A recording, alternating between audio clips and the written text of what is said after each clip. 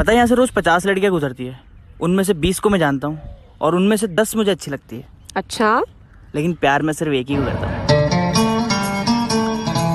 लेकिन वो यार आज दिखाई नहीं दे रही। थोड़ा फीलिंग